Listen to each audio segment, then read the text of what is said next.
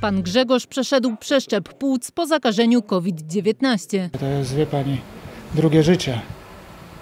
Bo tak to nie wiadomo, jakby się to skończyło. Na szczęście ta historia ma swój happy end. Pan Grzegorz to pierwszy pacjent w Polsce, któremu przeszczepiono płuca, bo zniszczył je koronawirus. Pracował jako szef sterylizatorni w szpitalu w Tychach. Na początku miał po prostu gorączkę. Nie odczuwałem jakiejś takiej duszności czy jakichś innych problemów, które tam wynikały z tego, z tego wirusa.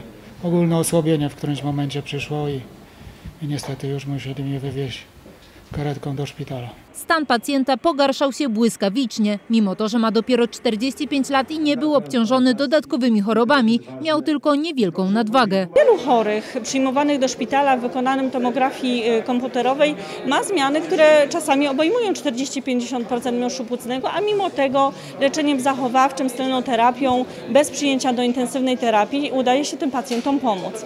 E, Ale dynamika choroby, narastanie tych objawów niewydolności oddechowej i zmęczenia pacjenta dały nam już dużo do myślenia, że ten przebieg może być dramatyczny. I tak się stało. Stan mężczyzny był na tyle zły, że przewieziono go do szpitala uniwersyteckiego w Krakowie, gdzie podłączony został do systemu ECMO, który pozaustrojowo natlenia krew. Płuca, proszę Państwa, były strasznie zniszczone. One przypominały wątrobę, czyli narząd, który nie służy do oddychania, tylko zupełnie czegoś innego, więc zwątrobiałe, twarde, nie, wym- nie wymieniające w ogóle tlenu, e, absolutnie bezwartościowe narządy po prostu. Te płuca jego to był bezwartościowy już narząd. Zmiany w płucach były nieodwracalne, dlatego trzeba było wszczepić nowe. Dawca znalazł się szybko. Sam zabieg przeszczepu płuc przebiegł bez komplikacji. Odbył się w Śląskim Centrum Chorób Serca w Zabrzu. Dziś nie zabrakło tu podziękowań, ale też apeli. uważajcie na siebie, chodźcie w maskach, przestrze- przestrzegajcie zasad, bo COVID jest wyjątkowo groźny i niebezpieczny. Ten wirus nie wybiera. To jest nieprawda, że chorują i umierają tylko osoby starsze.